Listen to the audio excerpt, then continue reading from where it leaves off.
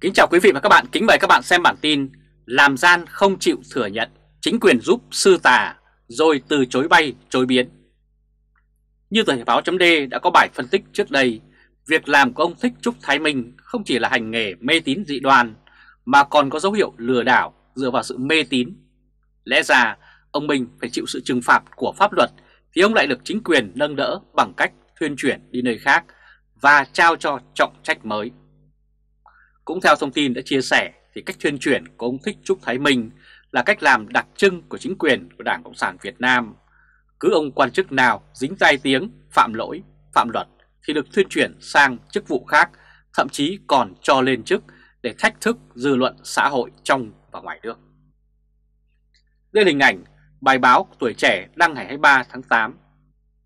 Vào ngày 23 tháng 8, tờ báo Tuổi Trẻ có bài viết rằng Đại Đức Thích Trúc Thái Minh làm phó ban trị sự Phật giáo tỉnh Quảng Bình. Trong đó đã dẫn lời ông Trần Đức Thủy, trưởng ban tôn giáo tỉnh Quảng Bình, xác nhận Đại Đức Thích Trúc Thái Minh, trụ trì chùa Ba Vàng, Quảng Ninh đã được chấp thuận đảm trách phó ban trị sự Giáo hội Phật giáo Việt Nam của tỉnh Quảng Bình nhiệm kỳ 2022-2027, kiêm trưởng ban Phật giáo quốc tế tại Đại hội đại biểu Phật giáo tỉnh Quảng Bình lần thứ 4 vừa qua. Sau bài báo, mạng xã hội đã dấy lên phản ứng mạnh mẽ về việc chính quyền đã thọc tay quá sâu vào tôn giáo và nhiều người cho biết đây chỉ là chỉ dấu tôn giáo phục vụ cho chính trị của Đảng. Có người thì cho biết Phật giáo Việt Nam đang bị xấu hình ảnh bởi Giáo hội Phật giáo Việt Nam. Tôn giáo lẽ ra không phải là công cụ chính trị của Đảng, nhưng trong trường hợp này Giáo hội Phật giáo Việt Nam đã không phục vụ cho những giá trị cao cả mà Phật đã dạy mà lại phục vụ cho những thủ đoạn đầy màu sắc của chính quyền, muốn biến cả dân tộc Việt Nam thành một xã hội mê muội và ngu dân để dễ trị. Điều đáng nói là trong bài viết của báo Tuổi Trẻ có tiết lộ rằng Sở Nội vụ Quảng Bình duyệt cho Thích Trúc Thái Minh chuyển công tác. Vậy thì đây là gì không phải là hành động của Đảng Cộng sản Việt Nam đã dùng Phật giáo là công cụ hay sao? Thật quá lộ liễu và không thể che giấu được nữa. Bản chất của Đảng Cộng sản Việt Nam là lấy sai che đậy cái sai. Và lần này phía chính quyền của Đảng đã dùng đến chiêu bài như vậy. Được biết vào ngày 25 tháng 8, báo Tuổi Trẻ lại đăng bài báo mới nói rằng trưởng ban tôn giáo Quảng Bình phủ nhận phát ngôn của mình về Đại Đức Thích Trúc Thái Minh. Từ phủ nhận nói theo ngôn ngữ bình dân tức là chối. Lời ông Trần Đức Thủy vừa trước đó hai ngày trên mặt báo thì sau đó ông lại chối liền. Đây là hình ảnh bài báo Báo Tuổi Trẻ đăng tiếp theo vào ngày 25 tháng 8. Ngày 22 tháng 3 năm 2019 khi đó, báo Thanh niên cũng có bài mê tín dị đoan công khai ở chùa Ba Vàng với nội dung phản ánh là hoạt động mê tín dị đoan dưới hình thức truyền bá, vòng báo oán, giải nghiệp và nhận tiền dưới hình thức công đức đã diễn ra công khai trong nhiều năm tại chùa Ba Vàng thuộc thành phố Uông Bí, tỉnh Quảng Ninh. Đã thành lịch cố định cứ mỗi tháng 3 đợt, mỗi đợt 2 ngày vào các ngày 7 đến 8, 13, 14 29-30 âm lịch. Tại chùa Ba Vàng lại diễn ra lễ thỉnh vong giải nghiệp và tuyên truyền về chuyện vong báo oán thu hút hàng ngàn người tham dự. Tại đây mọi người được nhà chùa tuyên truyền rằng ma quỷ là có thật, ai cũng có thể bị vong đeo bám, muốn thoát nạn thì buộc phải trả nợ cho vong, từ vài triệu đến vài chục triệu đồng thông qua hình thức công đức vào nhà chùa. Tin lời có rất nhiều người đã bỏ ra những khoản tiền rất lớn để mơ rằng sẽ đuổi vòng, đuổi ma, đuổi quỷ.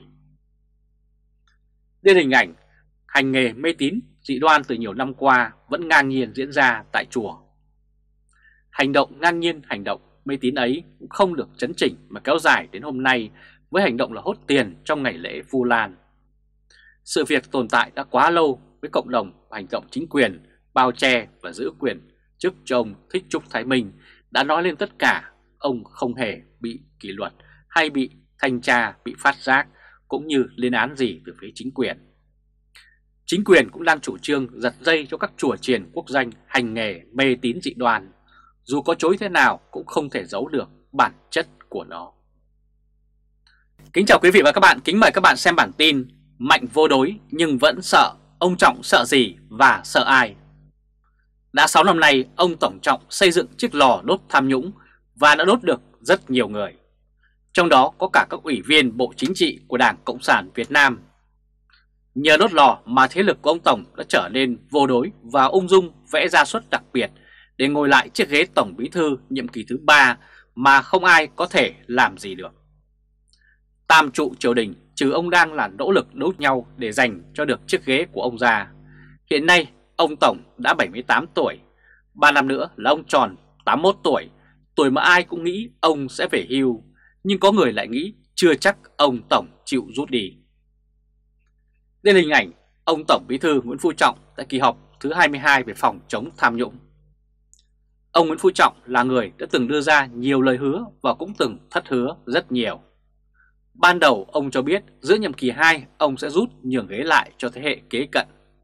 Nhiều người nghĩ rằng ông Đinh Thế Huỳnh là người sẽ hưởng lợi những gì ông Tổng hứa khi đó.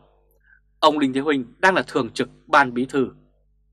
Thế rồi giữa nhiệm kỳ, ông Đinh Thế Huynh ngã bệnh một cách hết sức bí ẩn và phải âm thầm rút khỏi vũ đài chính trị của Việt Nam. Thay vào đó, ông Đinh Thế Huynh là ông Trần Quốc Vượng.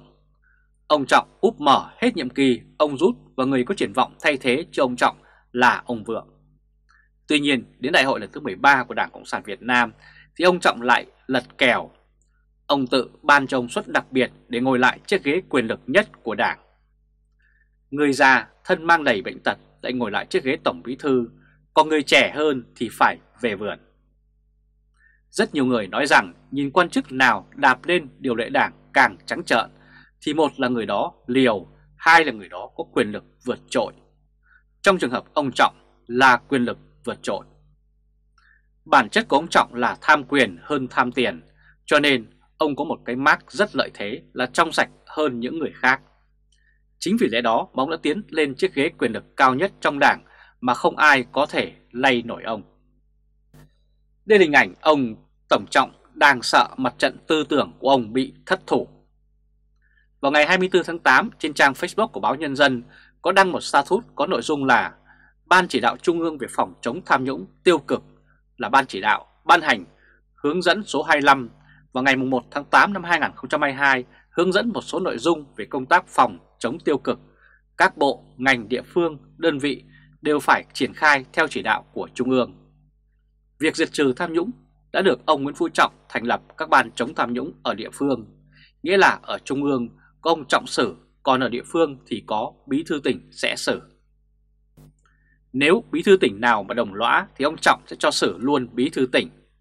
Có thể nói mạng lưới đốt lò của ông Trọng giờ không ai dẹp được, chỉ có ông dẹp chứ người khác không dẹp được ông. Về sức mạnh cứng thì xem như ông Trọng không e ngại. Tuy nhiên về sức mạnh mềm thì Đảng Cộng sản Việt Nam chưa bao giờ mạnh cả.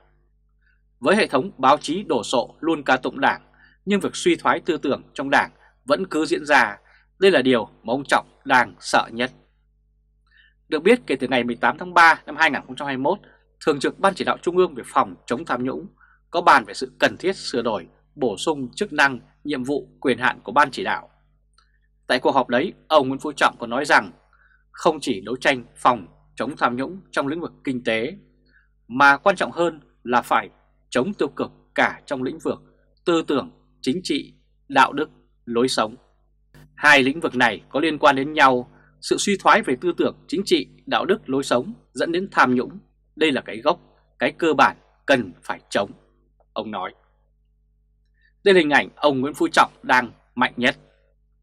Như vậy thì tham vọng của ông Trọng ngày càng lớn, nỗi sợ của ông với sự suy thoái tư tưởng làm cho ông ngày một trở nên lộng hành hơn. Nghi ngờ ai lạc lối tư tưởng thì rất có thể bị triệt chứ không cần đến tham ô.